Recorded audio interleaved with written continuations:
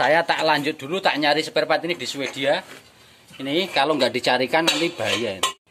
celing. Nah ini saya udah sampai Swedia dapat ini spare partnya ini. Kalau nggak ditekan nanti nggak bisa di setel dia. Los aja. Harus ditekan kayak gini sama nekan kuncinya sama muter.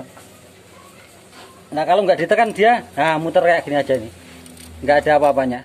Assalamualaikum warahmatullahi wabarakatuh. Berjumpa lagi dengan saya Mekanik Serabutan Hari ini kita lagi kerja bakti ini. Kerja bakti benerin rem Volvo ya. Volvo 440 Remnya ndak bener semua ini. Makanya cuma nyisel yang atas aja Yang bawah ndak makan ya. Oke kita lanjut kerusakannya apa? Itu di belakang saya itu lagi kerja bakti itu. Setengah hari buka ban baut 10 aja nggak kelar itu. Lah itu. Dua orang itu loh niat apa nggak sebenarnya itu? Lah itu. Oke ya dilanjut saja nah ini yang sebelah sini udah tak bongkar ini. Nah ini yang sebelah ini sama bapak-bapak ini kerja bakti pada mangap-mangap ini ya. Ini baut 10 dari habis istirahat sampai habis asar ini belum kelar ini. Waduh nggak tahu kenapa itu bautnya itu. Repot pokoknya. Nah ini yang sebelah sini, yang depan kanan ya. Ya, engkel sebelah kanan ini. Ini makannya yang makan itu cuma yang atas saja. Yang bawah nggak mau gerak. Setelah nak bongkar, ternyata sini ini ini penghubung setelan rem ya. Kalau Volvo modelnya kayak gini. Kalau unit kalau unit yang lain kayak Hino kan setelannya di sini. Select adjuster ini ya. Nah ini, ini setelan remnya biasanya di sini kalau Hino. Kalau Volvo ini setelannya di bagian sini nih. Nah ini, nah ini baut 10 ini. Nah ini baut 10 ini. Di belakang sini ada baut 10. Ditekan masuk terus diputer ya.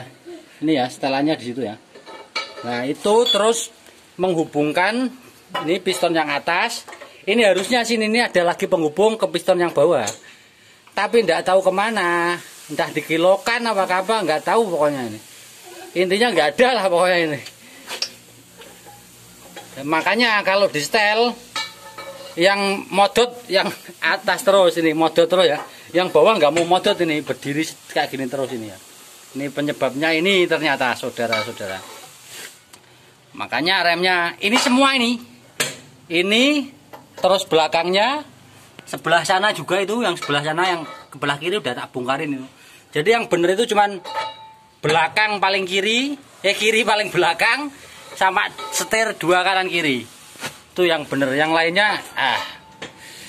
Ini terus tadi udah tak cek, bautnya kendu semua, untung nggak lepas di jalan ini. Padahal udah dapat berapa? 20 rit mas ya? Oh iya 20 rit ini. Muat, muat 50 ton. Ini muatannya kemarin 55 ton ini sudah ada ini. Padahal mobil kecil gitu. Terus kayak apa gunung nih? Oke ya, ini unitnya Volvo 440. Nah, ini ini unitnya Volvo 440 FMX 440 ya.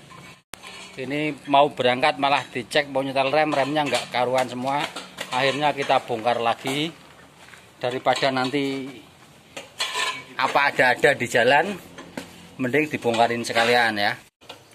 Oke ya, saya tak lanjut dulu tak nyari spare part ini di Swedia ini kalau nggak dicarikan nanti bahaya ini nggak bisa ini.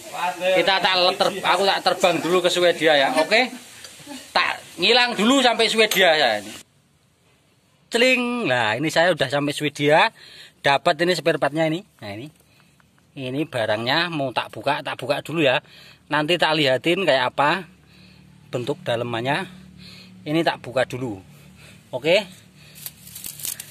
Sebelumnya terima kasih ya untuk teman-teman yang telah mendukung channel saya. Bagi yang belum silahkan didukung dengan cara di subscribe, di like, di komen. Dan apabila bermanfaat silahkan di share ya. Oke. Nah ini barangnya sudah tak ambilkan ini di Swedia tadi ya. Ini barangnya kayak gini. Ini penghubung dari adjuster yang atas ke eh dari kampas yang atas ke kampas yang bawah ya. Kalau nggak ada ininya setelannya kan di posisi kampas yang atas saja kalau nggak ada ininya yang bawah jadi nggak ke setel. Jadi renggang terus posisinya. Nggak ikut kesetel ya. Oke. Dilanjut lagi tak terbang ke Indonesia lagi nih mau tak pasang ke Kalimantan ini terbang lagi ya. Oke ya. Tak ngilang dulu aku. Nah ini saya udah sampai lagi. Ini barangnya udah dapat ya. Ini masangnya itu posisinya gini. Mudah-mudahan nggak kebalik kanan kirinya. Nah ini posisinya gini alah ya mesti jatuh. Ini masangnya gini teplek gini. Nah ini. Ini posisinya gini ya. Oke tak pasangi dulu ya. Ini susah masalahnya. Tangannya cuma dua yang satu megang HP ya. Oke tak pasang dulu aja karena kotor ya. Siap. Nah ini barangnya udah tak pasang kampasnya udah tak pasang semua atas bawah ini sekarang udah berfungsi dengan dengan se, se, se apa ya? Dengan berfungsi dengan semestinya. Nih ya. Ini yang atas gerak ya gerak ya. Yang bawah juga gerak ya. Nah, oke. Nah ini tinggal setelannya ini. Ini berfungsi ini ini apa stick ini berfungsi dari setelan belakang sini nah ini baut 10 ini muter yang atas ini. Nah terus yang atas itu meneruskan jeret muter yang bawah ini. Ya. Yang atas modotkan ini yang bawah modotkan ini. Nah gitu loh. Kalau posisi nyetel rem ini kuncinya ditekan masuk ya. Nah ini. Kalau nggak ditekan nanti nggak bisa di setel dia los aja. Harus ditekan kayak gini sama nekan kuncinya sama muter nah kalau nggak ditekan dia nah muter kayak gini aja nih nggak ada apa-apanya nggak ngasil nggak ada hasilnya. Nah kalau ditekan ini punya keras ini nah. ini ngencengin ya ngencengin remnya turun. Nah ini udah kenceng baru dibalik naikkan. Ini ngendonin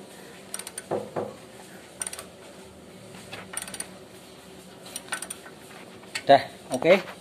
begitu ya caranya tel remnya kalau Volvo itu agak sedikit ribet daripada unit-unit chamber yang lain. Volvo sama Iveco yang ribet. Oke terima kasih. Salam sehat dan sukses selalu. Wassalamualaikum warahmatullahi wabarakatuh